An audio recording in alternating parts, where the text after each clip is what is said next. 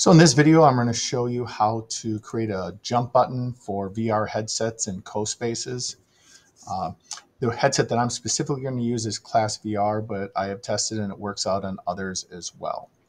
So you can see I just have my standard uh, 3D uh, environment here, and I have my camera in there. The first thing I'm going to do is come down to my library, go to my building, and I'm going to drag in a circle. I'm going to use this as my button.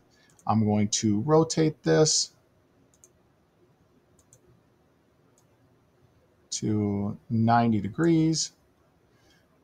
Then I'm going to click on it and transform it. There we go. Now the key in the position of this is I want to line up my circle with my camera, uh, the line of the camera. So when we're in the VR setting, it lines up and then when you click your action button, it will cause your character to jump. So we can see I'm a little off still, so I'm going to move over a little. I like it in the test that I've ran that you actually have your uh, button as far back as possible. So you can see my line. I line up directly with my camera there, so that line has to pass through the circle. I'm going to double click on my circle. I'm going to turn my coding on. I'm going to name it jump button really quick. And I'm going to click on my camera and I'm going to turn my camera, making sure it's in a walk position. Uh, fixed is generally the default. And I'm going to make sure my coding is on my camera as well. I'm going to come over to my list right here and I'm going to simply attach my jump button to my camera so that they're nested there. So we can see that we now have that line up. The coding is quite simple then. It's when my jump button is clicked, I'm going to move my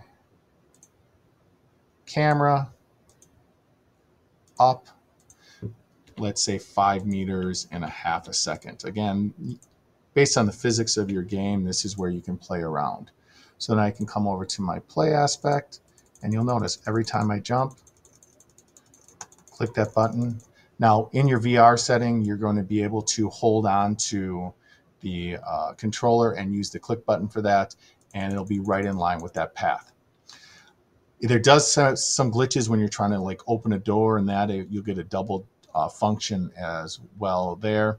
Again, I like to hot, uh, throw this all the way back. You can also put the opacity of this down or code in the opacity down to uh, have it a little bit lighter so uh, the button doesn't become as noticeable when you're coding inside your game. So for an, uh, an example of that, I would come simply down here and I would find the opacity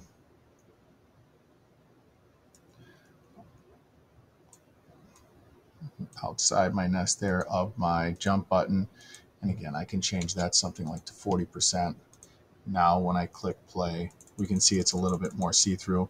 You could have it all the way off and it would still work because that camera line uh, is in line with the button. So I hope this helps as you're trying to code jump uh, function into your CoSpaces using your uh, VR headsets.